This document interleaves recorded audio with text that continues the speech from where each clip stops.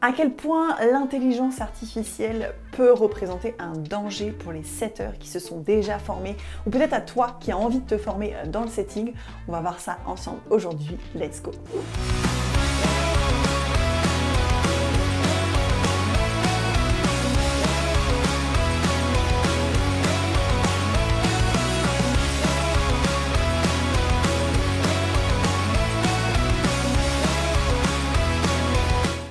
À toi, j'espère que tu as la forme, j'espère que je te retrouve de bon matin avec le cerveau frais, prêt à entamer une bonne journée de travail, d'entrepreneuriat peut-être aussi pour toi également.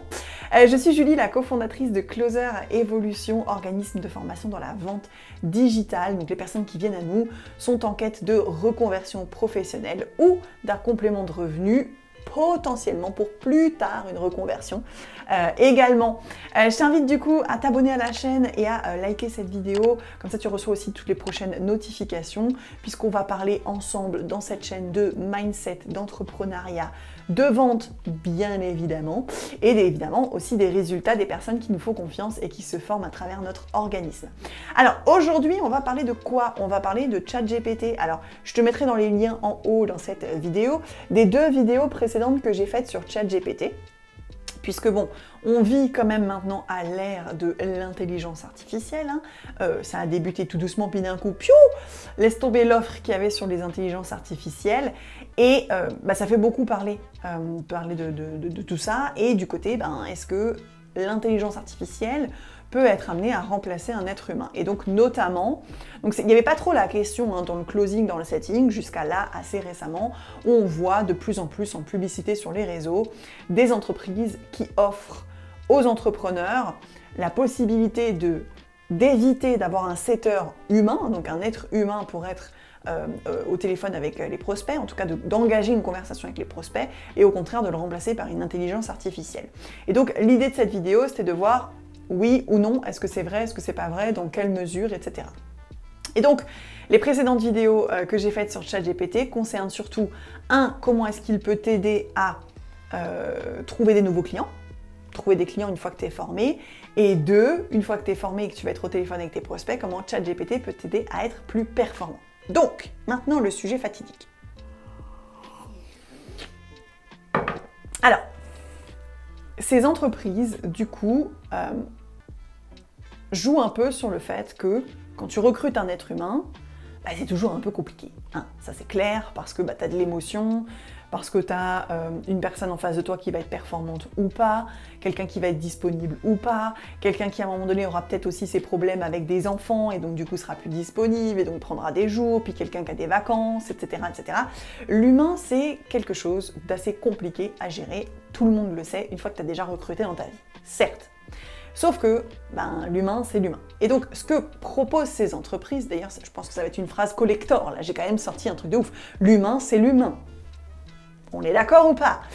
Donc, ces entreprises, qu'est-ce qu'elles proposent? Elles proposent qu'en fait, quand ton prospect voit une publicité sur les réseaux, il clique sur un bouton genre je veux plus d'infos et en fait derrière il va engager une conversation, non pas avec un être humain via des messages, mais via une intelligence artificielle. Donc j'ai testé quand même le truc. J'en ai testé trois.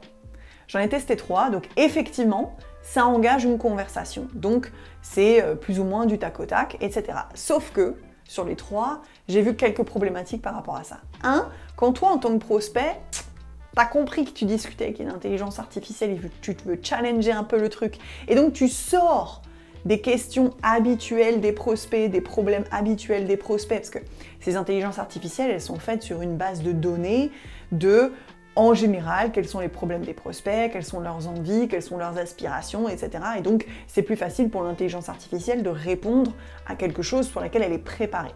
Sauf que, donc, du coup, problème numéro un, quand tu sors un petit peu de tout ça en tant que prospect, tu challenges le truc, il n'y a pas de répondant. C'est un peu compliqué. Tu sens que euh, ça galère un peu et que les réponses sont pas 100% euh, logiques. En fait, il y a des réponses, il n'y a pas un blanc derrière, donc il y a des réponses, mais tu sens que c'est pas 100% logique. Premier problème. Deuxième problème, je n'ai été relancée qu'une seule fois. Donc je ne suis pas allée au bout du process. Donc tu vois, j'ai cliqué sur une publicité qui vendait une intelligence artificielle, j'ai discuté avec l'intelligence artificielle, et donc l'objectif de l'intelligence artificielle, c'est de me faire prendre un rendez-vous avec un closer.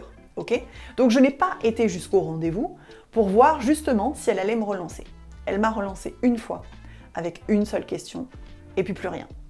Sauf que c'est ça en fait le problème, c'est qu'un être humain qui est formé correctement au setting et qui sait l'importance des relances aurait pas relancé seulement une seule fois avec une question, mais il aurait relancé plusieurs fois. Et peut-être même qu'au lieu de ne faire que lui poser des questions en mode euh, texto, là, en bref, sur Messenger, etc., à un moment donné, il lui aurait dit, bah, écoutez, Peut-être que Messenger, c'est quelque chose de moins intuitif pour vous. Est-ce que ça vous dirait qu'on passe au téléphone sur un appel simplement de 15 minutes, histoire de faire connaissance? Et là, comme tu as un contact humain avec la personne, quand tu veux faire des relances, c'est beaucoup plus facile et beaucoup plus intuitif parce que justement, tu as déjà eu un entretien téléphonique avec ce prospect-là. Et donc, on le sait en fait, dans la vente, on le sait, tu as au moins 60% de tes ventes qui sont dans ta liste de prospects à relancer. As, donc dans tes prospects, tu as ceux qui vont passer à l'action tout de suite, tu as ceux qu'il faudra relancer mais seulement une fois parce que tu as un follow-up.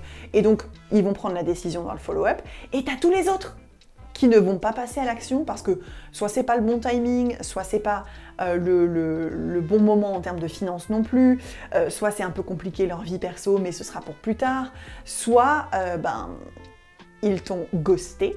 Et donc tu ne sais pas pourquoi. Et donc l'objectif c'est de relancer ces personnes. On relance quand on est un sales, on relance toujours les no-shows, les ghosts, euh, les personnes qui se sont pas présentées donc du coup au rendez-vous. On relance toujours une fois, deux fois, trois fois. Il y a toute une méthode, il y a toute une stratégie pour lancer histoire de ne pas être pushy non plus, de pas être hyper insistant, d'être encore une fois dans l'éthique.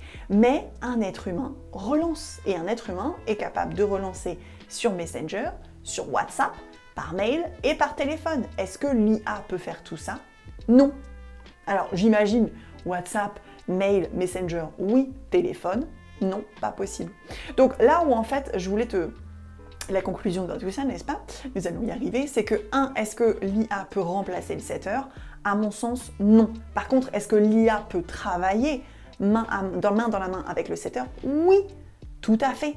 Pourquoi ne pas faire un système hybride où en fait c'est l'IA qui prend euh, le, relais avec le, prospect dans un premier temps et à partir du moment où il n'y a plus de relance, là c'est un être humain qui passe euh, derrière et qui va essayer de l'avoir au téléphone, d'engager une conversation, etc., etc.